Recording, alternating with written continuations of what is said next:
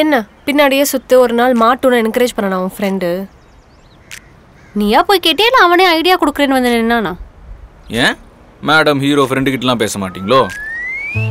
அசிங்கமா இல்ல? அவன் தான் லவ்வுக்கு ஐடியா கேட்கறான்னு நீயும் போய் சொல்ற?